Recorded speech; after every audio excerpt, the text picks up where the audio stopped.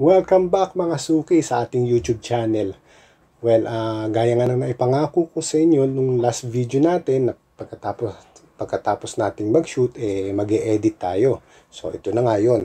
Uh, gagamitin natin yung cellphone at uh, ilang libreng uh, app sa Android para mas mapaganda natin yung kinunan nating picture last time. So, ang mga app na gagamitin natin ay tinatawag nating image size. Ito yung gagamitin natin ng, na pang crop at pang uh, pang resize ng photo based do sa pangangailangan natin, yung photo room. Ito yung app na ginagamit para palitan yung background. Uh, actually, dito pa lang okay na tayo eh tapos, uh, gagamit din tayo ng Snapseed para kung sakaling gusto pa nating enhance ang ating photo. Buksan natin yung image size. Yan. So, mapapansin niyo dito merong pwede, mong, pwede ka mamili kung ang input mo ay pixel, millimeter, centimeter, or inch. Ako mas prefer ko yung pixel kasi uh, although let's say uh, inches yung binigay na dimension sa akin, mas uh, alam ko kasi kung let's say photo lab, alam ko na it, kailangan kong i-times lang sa 300 yung dimension na yon. So, ito na nga. Uh, dahil 3.5 by 5, uh, tinimes natin sa 300. So, 1,050 by 1,500. So, from doon sa upper left, merong icon ng image. Kukunin natin yung picture na i-resize natin. Yan, ito yung mga kinuna natin kahapon.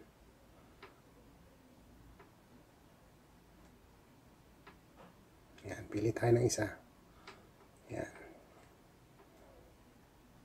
So, yan. Hatak-hatakin lang natin yung picture para may resize.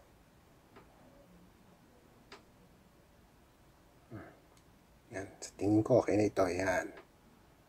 Labas natin ng konti yung kamay.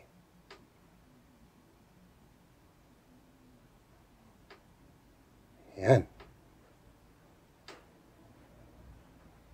Tapos, yun lang, si-save na natin siya. Pagka-save natin, uh, i-open lang natin siya do sa isa pang app. Ito yung photo room. Dito, magpapalit tayo ng uh, background. So, yun, click lang natin yung uh, positive sign or plus sign sa taas, sa start from photo And then, piliin natin yung uh, niresize natin. And then, automatic, i-scan niya yon yung papalitan niya, tatanggalin niya kagad yung background. Tapos may choices ka kung anong plano mong gawin do sa photo na tinanggalan mo ng background. May mga ano rito, may mga parang menu. Uh, ngayon, siyempre, pipiliin natin yung walang background. Ito, itong checkered. So, pagka nakakita ka ng checkered niya, ibig sabihin transparent yun, ano? So, dito sa bandang ibaba, makikita natin nakalagay background. Click natin siya para pili and then replace natin ang background. So, meron din siyang available na mga background kung uh, kung tinatamad kang maghanap pero since may preferred background tayo, yan, na sinave, punta tayo dito sa photo. Yun. Instant. May background na siyang bago. Di ba? So, yan. Dito, pwede mo nang, actually, kahit hindi ka lalabas dito, pwede mo rin namang, punta, balik lang tayo doon, punta natin yung person, enhance natin konti, konti, adjust. Let's say, medyo nadidiliman ako sa shadow, gusto kong dagdagan ng kahit mga 20. O gawin kong 40. 50 kaya. Ayan. O, 52. Yan, na-enhance na siya. So, from there, sisave mo lang ulit siya. Ang downside lang nitong uh, app na ito, napansin ko, let's say yan, pagka sobrang, meron siyang tinatawag na fringing yan. Kung mapapansin ninyo, mayroong puting, uh, uh, merong mga puti-puti do sa kanyang buhok. So, yung tawag doon ay image fringing. So, hindi niya sinasagad yung pagkat So, ang pinaka-solution na lang na naisip ko, eh, hanap tayo ng hindi, yung tugmang uh, kulay do sa back, sa fringing na yon So, ito nga. Yan. Tsaka isa pang downside, dahil libre siya, mayroon siyang tinatawag na watermark na makikita natin doon sa lower left ng image. Nakalagay photo room. So, kung gusto mong uh, wala yon babayad ka. So, at, uh, ang alam ko, mga 500 plus ito. Pero kung minsan mo lang gagamitin, di ba, sayang naman, edi i-save mo na lang siya, kaya nang gagawin natin, save siya.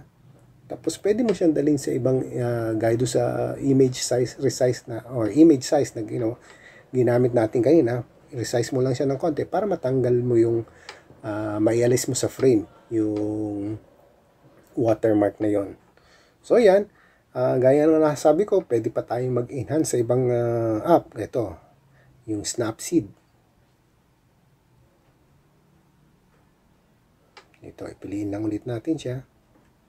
Madalas dito, yan, pinipili ko lang yung portrait. Mga preset na tinatawag. So, parang okay na siya sa akin. Pero, um, tingnan natin kung halimbawa hindi tayo sa preset, papasok tayo sa tools. Yan, let's say maglagay tayo ng vignette. Madalas yan, sinosobrahan ko. Tapos pinuposition ko, yan. Para ma, yung mata ng tao nakafocus talaga sa mukha niya. Tapos tsaka ako ilalighter ng konti based sa taste ko. Ayan.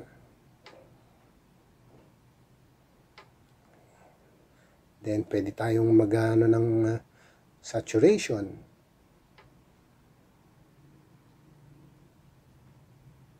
Yan, tune image. So, ano yung gusto nating balitan? Brightness saturation. Yan. Siguro ayaw masyadong saturated. Or yung brightness, dagdagan ko ng konti. Yan. And then, isa-save na lang ulit natin siya. Yan. Export. And then, save. Ganun lang kadali. So, in less than 5-10 minutes, eh, ngayon, nakipagkwento lang ako, kaya medyo matagal, di ba?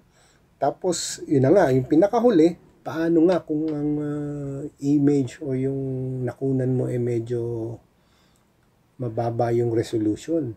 Uh, may solution ba doon? Ito yung, ang solution doon, ito, ang solution doon, itong Remini.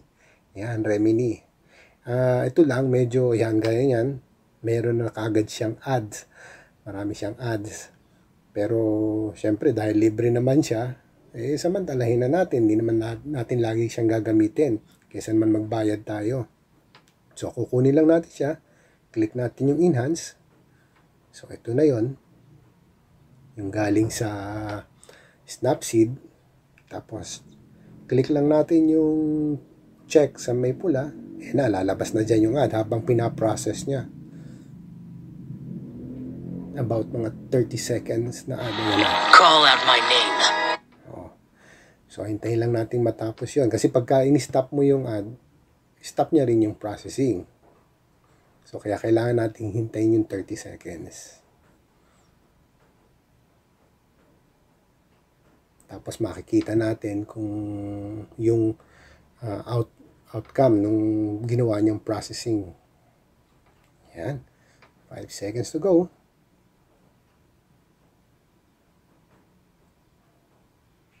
Ayan. Ayan. Yan yung before. Ito yung after. I-zoom natin para mas uh, ma-convince tayo. Dito muna tayo sa before. Yan. So, nakita ninyo? Before. After. Oh. Diba? Ang ganda niya. Ang ganda na niya. Ang kinis, diba? So, nawala yung parang mga basag do sa picture. Yan o. Oh. Hindi tingnan natin. Yan. Kahit sa lips, tingnan natin o. Oh. Napakinis niya. So, libre lang to. Samantalahin natin, di ba? Tapos, yun lang. Uh, isi-save mo na siya. Pag save mo, yan na naman. May add na naman siya. Okay? So, hintay lang natin. Mga 5 seconds naman ito ngayon. And then, yun na.